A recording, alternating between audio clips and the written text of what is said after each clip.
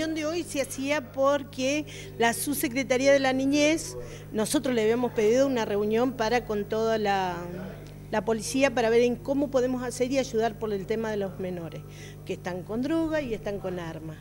Ellos me llaman que se hacía el día martes a las 9 de la mañana. Bueno, vos fíjate que ahora se les llama y que no pueden venir porque tenían que estar a las 9 de la mañana. Eso es una falta de respeto hacia nosotros, porque si ellos más allá son, son de la subsecretaría, a nosotros nos deben respeto por, ser humanos como somos, ¿sí? y la problemática que nosotros tenemos en el barrio. La realidad de los chicos es el caso que, que nunca se hace nada, pasan casos tras casos, pero no, no hay procedimiento de, de los de arriba, digamos, que, que hagan algo, no. Nos juntamos acá, hacemos reunión, y estamos siempre lo mismo, pero los principales nunca están, nunca se puede hacer nada. Discutimos, peleamos entre nosotros, pero ¿de qué nos salimos adelante? A nada. Arma, fabrican tumbera, cartucho en la calle porque disparan a cualquier hora, no, no tienen horario ellos. Se juntan en la esquina, fuman, vos lo ves fumando, vos los hablas, se enojan con uno. Y yo digo, ¿los padres dónde están?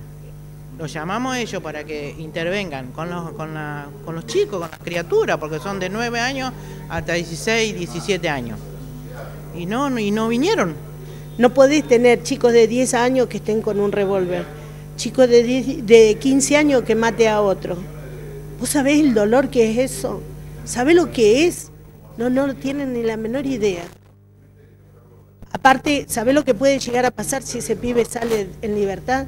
Si ya le llueven tiros a la familia de ese pibe que mató, vos imaginate si ese pibe sale. Tenemos otro que buscó de, matar a otro pibe y ese anda al campante acá y sigue a los tiros. ¿Y qué hace la subsecretaría de la niñez? Lo dejó en libertad. Pero más allá no es que queremos que estén presos, sino que los padres sean responsables. Que los padres de una vez por todas sean responsables y pongan lo que tienen que poner para cuidar a sus hijos. No tienen que estar a cierta hora de la noche tirando tiro o pegándole a la gente y quitándole la, la pertenencia que tienen. Eso no sirve. Ahí no va.